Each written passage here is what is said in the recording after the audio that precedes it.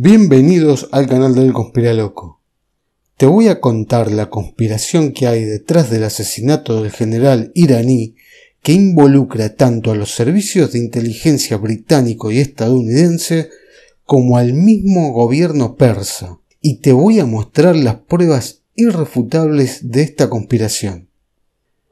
Solo unas horas después de que Irán contraatacara bombardeando dos bases militares estadounidenses en Irak como respuesta al asesinato del general Qasem Soleimani, un avión de pasajeros Boeing 737 ucraniano se estrelló a los pocos minutos de despegar del aeropuerto de Teherán, la capital persa, dejando un saldo de al menos 176 muertos. La explicación oficial del gobierno iraní es que el avión tuvo un incendio en uno de sus motores y esto provocó el accidente. Sin embargo, la reacción del presidente estadounidense al contraataque iraní fue como mínimo tímida y no va en consonancia con la actitud de mafioso que suele exhibir en la prensa internacional. Además, el gobierno de Irán se niega a entregar la caja negra de la aeronave siniestrada. Todo esto hace pensar que algo se esconde, y efectivamente aquí te lo muestro.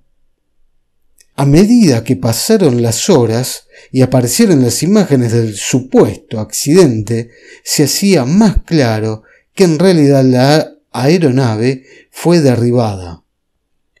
En estas fotos que ves a continuación se puede ver una serie de orificios en todo el fuselaje del avión ucraniano.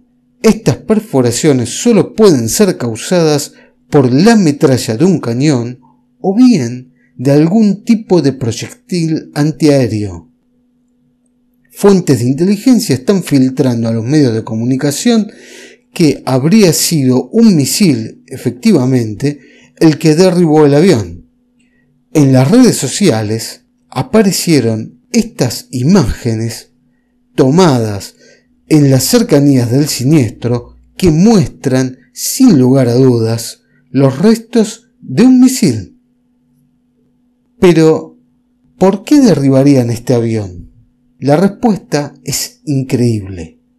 El mismo día del asesinato de Qasem Soleimani se publicó un documental donde un informante ucraniano denunciaba que el derribo del MH17 ocurrido en 2014 durante el conflicto con los separatistas de Donbass en ese país fue en realidad orquestado por el primer ministro de ese entonces, Petro Poroshenko, y por el Servicio de Inteligencia británico. Qué raro, ¿no? Los piratas involucrados en una conspiración. ¿Es solo una casualidad? ¿O es que alguien vinculado a este escándalo viajaba en este Boeing que despegó del aeropuerto de Teherán? Fue entonces el asesinato de Soleimani y todo el circo que vino después, un incidente bélico o fue un trueque entre Estados Unidos, Inglaterra e Irán. Es decir, entregaron al general iraní a cambio del o los desconocidos que iban en el avión ucraniano.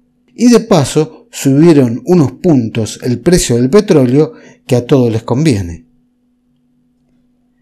¿Vos qué pensás, compira loco?